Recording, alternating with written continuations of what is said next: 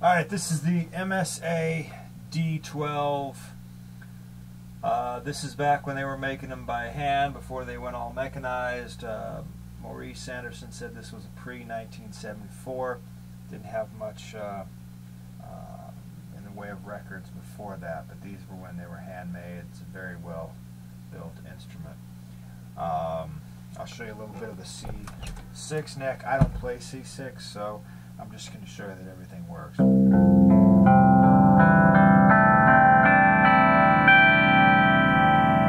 got a really good tone.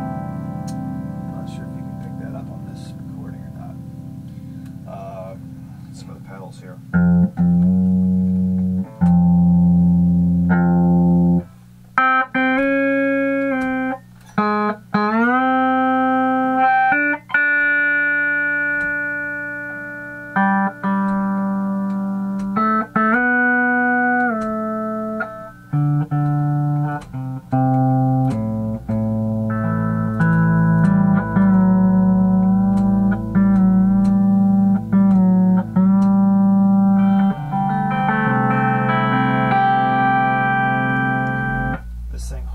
Tune amazingly well.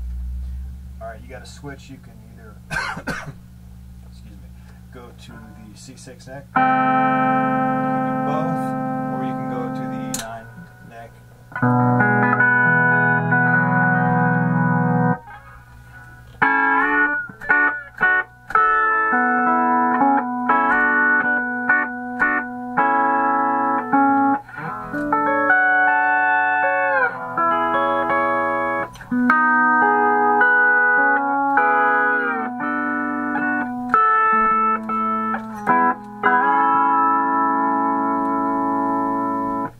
Just barely started playing E9, so I can play well enough just to show you this thing works. Uh,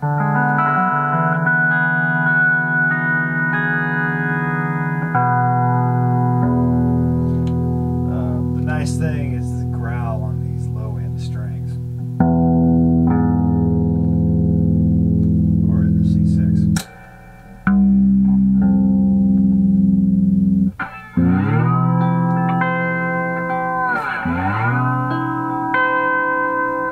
Anyway.